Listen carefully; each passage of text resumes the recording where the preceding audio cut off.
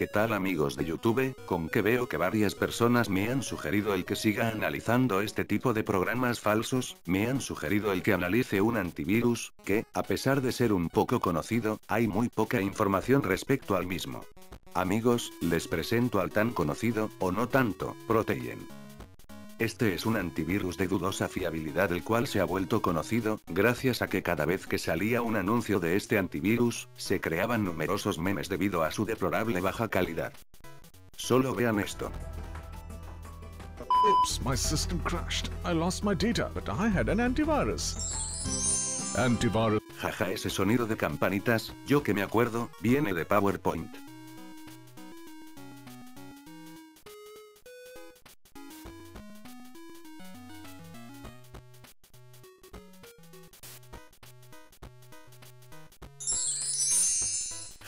Comprobado. Lo que se destaca de este antivirus es que detecta como amenaza a programas que reparan archivos y archivos totalmente inofensivos, pero esto lo comprobaremos en un momento. Bueno bueno, pasemos a analizarlo. Como pueden ver, esta es la página oficial de este falso antivirus. El entrar a la página web es sencillo ya que no lo detecta el antivirus como sitio peligroso. Al entrar, podemos ver en tamaño hamburguesa un super banner en donde te dicen las supuestas ventajas y novedades de este antivirus falso. Y sí, este falso antivirus tiene un soporte en línea que en realidad no funciona, o al menos no en mi caso, pero esto en un momento. También tiene un número de teléfono gratuito para soporte. No sé si realmente funcionará. Aquí en la mitad de la página, te muestran sobre los paquetes del antivirus y sus supuestas ventajas de cada uno, el cual puedes encontrar en cualquier antivirus de manera gratuita. Aquí tenemos este mono el cual es la mascota de este antivirus. Según se llama Proto. Más abajo tenemos los supuestos elogios y comentarios de consumidores que, al igual que este tipo de programas, están sospechosamente bien redactados. Y hasta abajo de la página, encontramos los supuestos premios que ha ganado este antivirus, los cuales ya sabemos que son más falsos que la autopsia extraterrestre en la Ciudad de México XD. Ah, y como no, el certificado de la Microsoft Partner. Con tan solo ver este dichoso certificado, podemos deducir que algo anda mal con este programa. No sé por qué demonios ponen esto en cada programa de este tipo, pero en fin. Al final de la página, tenemos contacto a redes sociales y demás cosas que solo son intentos de pruebas de calidad. Regresemos al principio de la página. En la segunda pestaña de esta página, podemos elegir alguno de las versiones que existen de este antivirus para revisarlo y quizás descargarlo.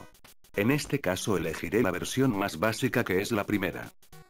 Ya aquí podemos ver las ventajas de esta versión, requisitos mínimos y varias cosas más que solamente son para rellenar la página. Curiosamente, este antivirus se puede ejecutar en una PC de muy bajos recursos. Hasta arriba, podemos ver unos botones para comprar el antivirus o descargar una prueba gratuita que te dura 30 días. Lo común de cualquier programa. Así que, vamos a descargar la versión de prueba. Para descargarlo, tenemos que ingresar datos personales como nuestro nombre y número de teléfono. Lo que puedo decir, es que este antivirus recopila nuestra información, al igual que su página web. Para que me deje descargarlo, ingresaré datos falsos. En el correo que pide, usaré un correo desechable. Un correo desechable o provisional, es una página web que se comporta como un correo electrónico personal, el cual puedes usar para registrarte en páginas que no necesitas, o para recibir correos que solamente sea spam o publicidad. O en su defecto, para registrarnos en páginas que no volveremos a usar.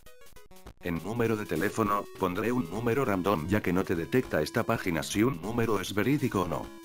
Aceptamos los términos y condiciones y daremos en entrar. Como pueden ver, se ha iniciado la descarga. No sé por qué, pero se me hace bastante sospechoso que su instalador pese demasiado, más de lo común. Mientras esperemos a que se descargue, veremos qué más tiene esta página web. En la página de descarga, podemos descargar el antivirus. La verdad, esta página es algo repetitiva. Si vamos a, acerca de, podemos ver la supuesta historia del antivirus y sus creadores. Además, en algunos párrafos se ponen cosas incongruentes y exageradas.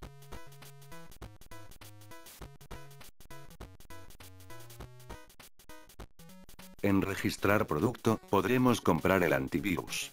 Tal vez exista la versión completa, pero no lo creo. He estado refrescando el correo desechable, pero no me ha llegado ningún correo que tenga relación a este falso antivirus. En esta sección de la página, podemos comprar el antivirus. Pero la verdad, piden una cantidad exagerada de datos personales, los cuales dan la clara evidencia sobre que recopila nuestra información. Y, aunque les parezca increíble, esta página tiene un blog, en donde te dicen peligro de los virus informáticos y publicidad mal hecha y repetitiva sobre que Proteyan es el mejor antivirus del mundo mundial y bla bla bla. No hay nada interesante este blog.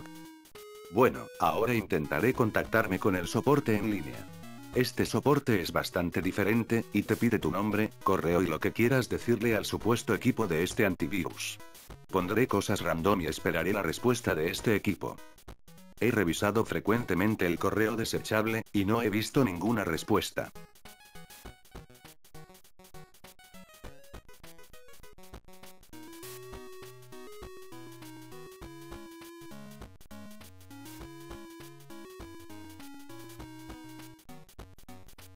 Lo que más me extrañó, es que la versión completa al 100% cuesta 40 dólares. Además de eso, la descripción es súper exagerada y los demos animados que ofrece esta página, están grabadas con Ice Cream Recorder y en Windows Pirata. Jajaja. Otra prueba que este antivirus es sumamente sospechoso. ¿Ustedes qué opinan al respecto? Bueno, dejemos por un lado el análisis de la página web, y vamos a la prueba. Para probar este falso antivirus, he usado una computadora física, nada de máquina virtual en este caso ya que las pruebas que pienso hacer necesitan una computadora física. Ahora verán por qué les digo esto. Esta computadora tiene unas explosivas características jaja. Bueno, pasamos a instalar este programa. Este antivirus viene en un archivo autoextraíble, cosa que a mi opinión, es muy sospechosa. A ver, vamos a extraerlo.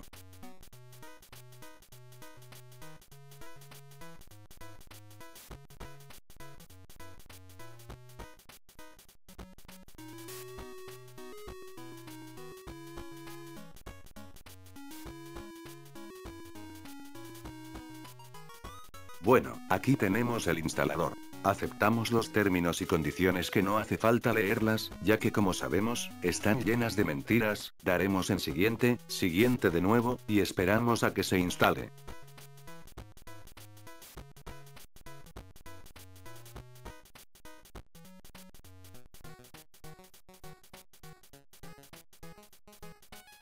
Otro instalador, bueno, haré lo de siempre que todos ya sabemos el procedimiento de la instalación de un programa.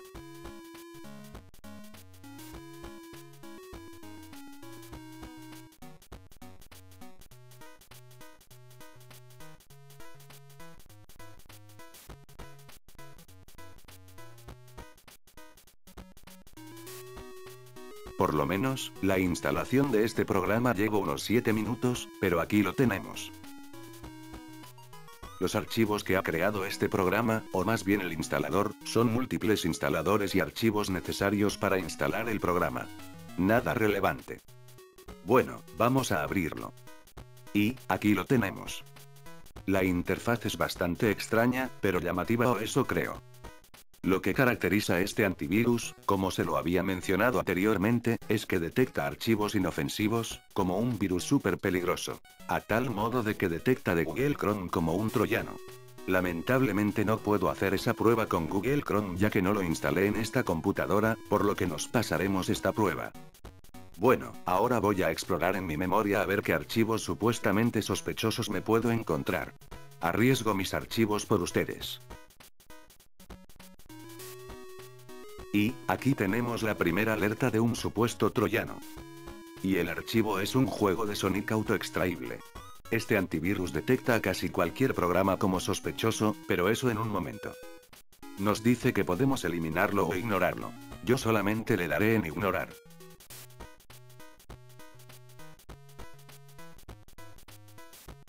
Jajaja. Ya me detectó otro archivo. USB Show. Muchos lo deben de conocer. Este es un programa que hace visibles archivos ocultos por virus. Esto es lo que decía, según lo que he podido ver y deducir, este antivirus detecta a programas reparadores de archivos como virus. ¿Por qué? No lo sé. Si paso los archivos supuestamente sospechosos a la computadora, también los detecta. Bomf. Aún me siguen apareciendo estas alertas.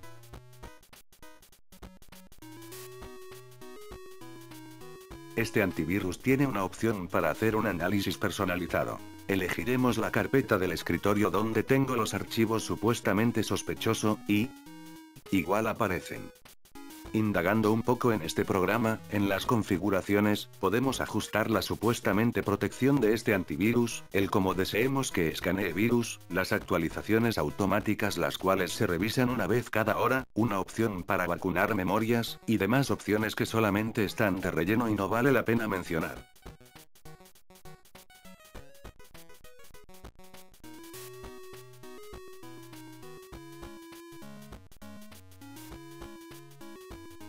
En esta pestaña, podemos ver los archivos que fueron detectados como peligrosos y que fueron puestos en una supuesta cuarentena, por lo que acabo de entender.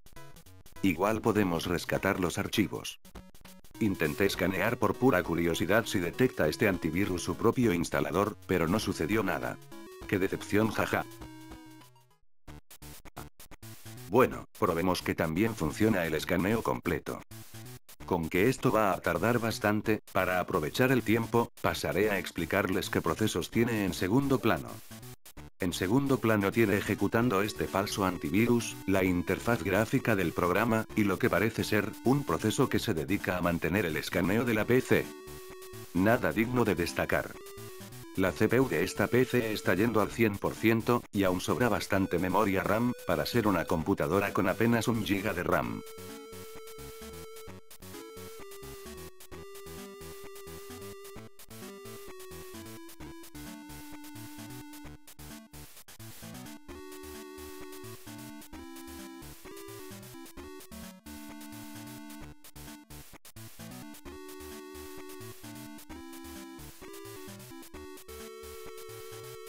Bueno, después de unos 5 minutos, el escaneo ya terminó, detectando absolutamente nada, hasta ahora. A continuación estoy pasando una serie de programas para escanear y ver qué archivos considera peligrosos este antivirus jaja.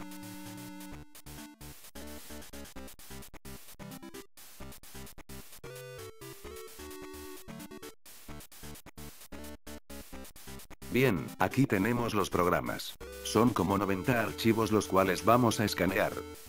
Elegiré la carpeta de documentos para escanear y, vamos a ver qué pasa.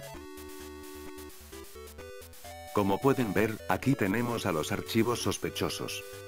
Me quedé impresionado al darme cuenta que detectó como un virus el tan conocido emulador de Super Nintendo, el cual casi todos conocemos. La verdad, este antivirus no sirve para nada. Solo da resultados falsos y no ofrece protección de ninguna manera. El encontrarse antivirus falsos hoy en día es relativamente fácil. Por ello hay que tener cuidado en donde nos metemos en internet y informarse más acerca de si X antivirus es bueno o de calidad. Pero ten cuidado, ya que las páginas de reseñas que dicen que X antivirus es lo mejor del mundo, pueden ser propiedad de la página web de dicho antivirus, el cual busca elogiarse a sí mismo. Por ello hay que usar antivirus conocidos y que no sean de dudosa fama o procedencia.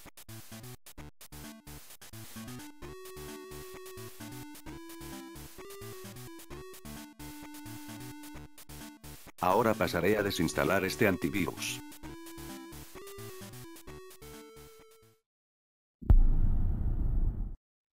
Jaja, como lo vieron, al desinstalar este antivirus, este borró mágicamente es USB Show. No sé, pero me dio algo de miedo XP. Bueno amigos, esto fue todo por hoy. Dejen en los comentarios sugerencias para analizar virus o antivirus falsos, para continuar con esta serie que no sé qué ha pasado, pero al parecer les ha gustado mucho. Antes que nada, quiero mandarle un saludo a Miguel Random. Espero que te la pases genial XD. Si tienen alguna duda o preguntas, pueden dejarla igualmente en los comentarios o preguntármelo por Twitter. Si te ha gustado este vídeo, puedes suscribirte y regalarme un like azul. Cuídense y nos vemos en el próximo vídeo. Hasta pronto.